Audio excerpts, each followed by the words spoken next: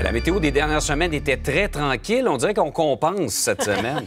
Là, on travaille à Coup fond, sur c'est coup, vrai. deux tempêtes. C'est la tempête euh, qui s'amène. Aujourd'hui, dernière journée calme avant la tempête. Le système fait quand même déjà son arrivée dès ce matin dans l'ouest de la province. Quelques centimètres de neige sont attendus, mais disons que ça va s'intensifier surtout en fin de journée, la nuit prochaine et demain, mercredi. Vrai jour de tempête pour l'ensemble du Québec. Ça va être un casse-tête pour démêler en fait tout ça. il y aura un mélange de précipitations d'une région à l'autre. Déjà dès aujourd'hui, oui, de la neige dans l'ouest du Québec, Pontiac, Témiscamingue. Vous êtes les premiers touchés. Quelques centimètres attendus aujourd'hui. Au total, euh, d'ici la fin de la journée, demain, l'ouest de la province attend environ 15 à 25 centimètres de neige. Vous ne serez pas les plus touchés. Abitibi-Témiscamingue, Outaouais, entre autres, dans les Laurentides, Mont-Tremblant, environ une trentaine de centimètres sont attendus. Et d'ailleurs, la neige, pour tout ce qui est un peu plus au sud-ouest, Grand Montréal et Laurentides, devrait commencer en milieu d'après-midi, voire fin d'après-midi pour Montréal.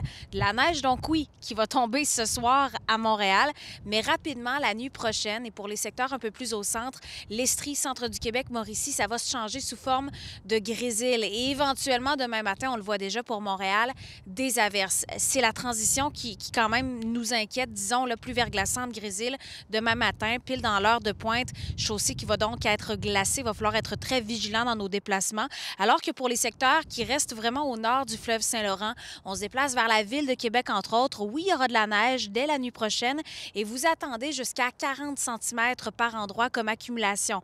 Pas juste de la neige, il y aura de fortes rafales de vent, entre 80 et 90 km à l'heure. Ça cause évidemment de la poudrerie, visibilité réduite, voire nulle complètement, surtout pour les secteurs plus à l'est. Quand on se déplace pour les secteurs de la basse côte nord, les vents vont même toucher les 100 km à l'heure. Possibilité d'avoir des pannes de courant, évidemment. Et tout ce qui est sur la rive sud du fleuve Saint-Laurent, on pense entre autres à la péninsule gaspésienne.